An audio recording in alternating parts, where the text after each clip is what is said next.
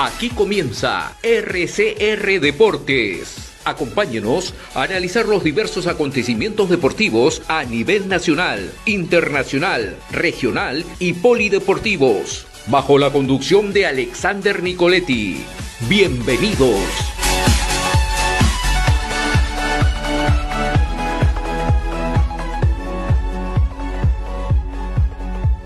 César Becerra, él es periodista deportivo de Radio Ovación en el programa de La Hora del Lalo. Nos vamos a enlazar con César porque él se encuentra en estos momentos en el Estadio Nacional, ¿no? Eh, vamos a ver cuáles son las expectativas, cuál es el ambiente, que bueno, seguramente todavía no hay gran cantidad de afluencia de público porque las puertas salen en un, en un rato más.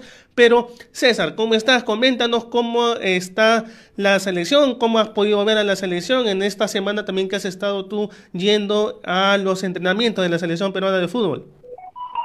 Muy buenas tardes, ¿cómo están amigos de RCR Deportes? Santín, un gusto saludarte como siempre. Me encuentro en el estadio José Díaz, el popular estadio nacional, donde en pocas horas viviremos una fiesta de la Roja, un partido como ya sabemos de vida o muerte, Perú contra Colombia, un Colombia motivado tras llegar a, a la gran final de la Copa América, como sabemos el técnico Néstor Lorenzo, ex Melgar de Arequipa, donde sobre todo creo que yo he inyectado confianza en la selección colombiana, por eso que está jugando de esta manera, un gran, gran expectativa por la gente y también sobre todo se han dado resultados inesperados para muchos, pero a favor de Perú sin querer, ¿no? En el caso de Venezuela que cayó 4 a 0 y en el caso de Chile que cayó 3 a 0.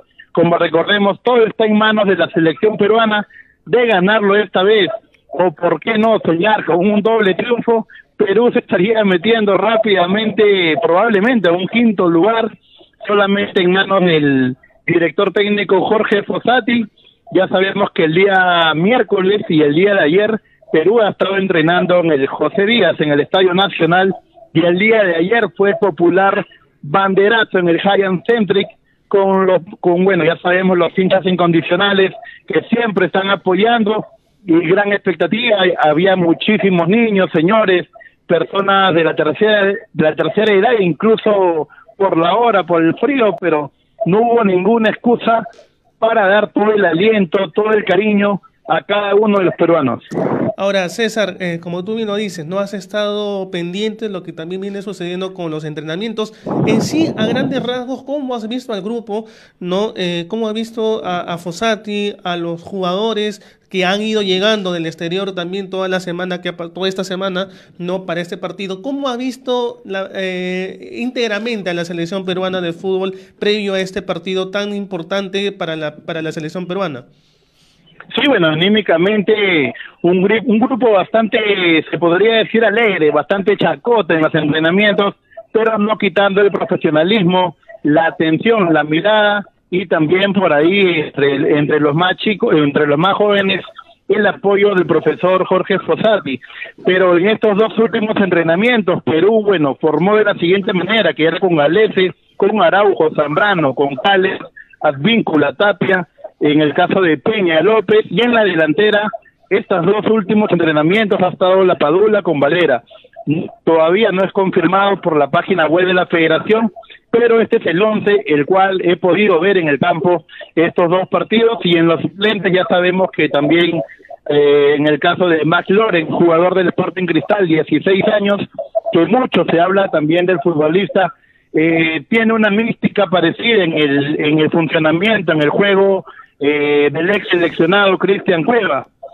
Pero vamos a ver qué, qué, qué fútbol propone y si le dan unos minutos al futbolista joven, promesa eh, de la selección peruana. También recordemos que tiene que tener cuidado Perú con el tema de tarjetas amarillas, en el caso de Pedro Valese, de Alexander Carles, Brian Reina, Renato Tapia, Marco López, Wilmer Cartagena y Miguel Araujo, que están con tarjeta amarilla, de, de que tengan una amarilla el día de hoy por la noche, no estaría enfrentando a Ecuador. En el caso de la selección colombiana, también hay jugadores que tendría que cuidar para el siguiente encuentro, que es un partido duro que también van a tener ante la selección argentina, en el caso de Carlos Cuesta, de Gerson Mosquera, de Daniel Muñoz, Jerry Mina, John Arias y John Córdoba son los jugadores que están en capilla con la tarjeta amarilla en este caso. Bien, César, es importante lo que nos dicen las tarjetas amarillas también. Ojalá que los jugadores que han mencionado de parte de la selección peruana puedan cuidarse, ¿no? Y teniendo ese factor que también Fossati no va a estar en, eh, el banco de eh, Perú para, esta, para este partido, al menos no va a estar Jorge Fossati también. Es un factor importante, pero claro, no tan determinante, pero ojalá que Perú pueda hacer las cosas bien, ¿no? Y César, eh, ¿Cómo ha visto también el ambiente afuera? Más o menos a, a, qué horas se estarían abriendo las puertas del Estadio Nacional para que también el público, el hincha que ha comprado su entrada pueda ir eh, y apoyar a la selección. Así es, bueno, lo que se refiere a entradas, como ya todos sabemos, ya no hay entradas en este momento, pero sí en el tema de reventas, desde las 9 de la mañana en los alrededores del José Díaz ya comenzaron con el tema de reventas. Por acá también en el tema de lo que es populares, que están que la venden a 160 soles en este momento en lo que se refiere a populares.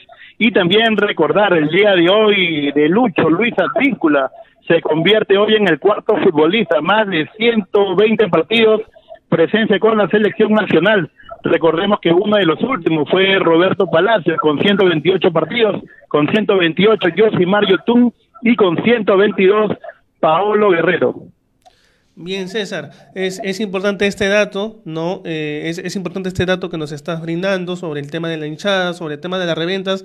Vamos a ver, ¿no? Qué es lo que vaya a suceder más tarde, cuando vayan pasando los minutos, seguramente ya veremos o se verá mayor hinchada dentro de o los alrededores del Estadio Nacional para obviamente apoyar a Perú en este encuentro tan importante y que prácticamente, no te digo que va a decidir muchas cosas, pero sería un envión anímico también importante para Perú, sabiendo lo que se está peleando y sabiendo que Bolivia en estos momentos está en zona de repechaje, ¿no?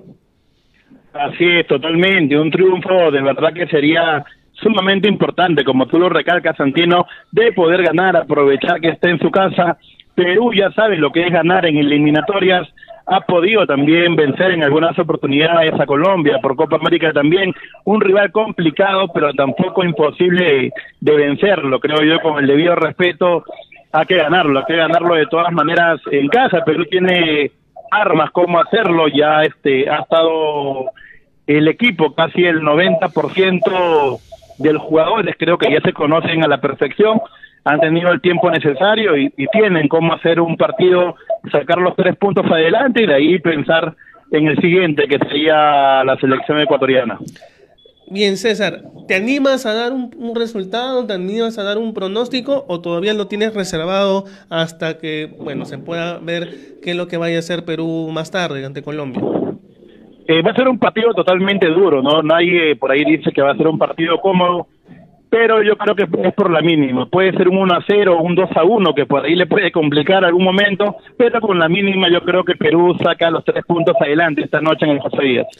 Bien, César, como siempre ha sido un gusto estar enlazado contigo. Tú estás en el Estadio Nacional, te estás viendo todo lo que ya está sucediendo con la selección peruana de fútbol. Ya en los entrenamientos también lo has visto, así es que vamos seguramente a estar eh, en contacto, ¿no? Y ya también para ver qué es lo que vaya a suceder la próxima semana, donde Perú viaja a Quito para enfrentar también a la selección ecuatoriana y obviamente esperar un resultado favorable el día de hoy y para que Perú no se aleje más de lo que ya está alejado de las otras selecciones que han podido sumar en esta fecha. César, nuevamente, muchísimas gracias por este enlace con RCR Deportes, te mando un fuerte abrazo. Muchísimas gracias Santino por el enlace y sigan con la mejor sintonía de RCR y un arriba Perú como siempre. Listo César, un fuerte abrazo, muchas gracias. Bien amigos, ha sido César Becerra, él es periodista deportivo en Radio Ovación, en el programa de la hora de eh, Lalo. Esto fue RCR Deportes. Retornamos mañana con más información del mundo deportivo.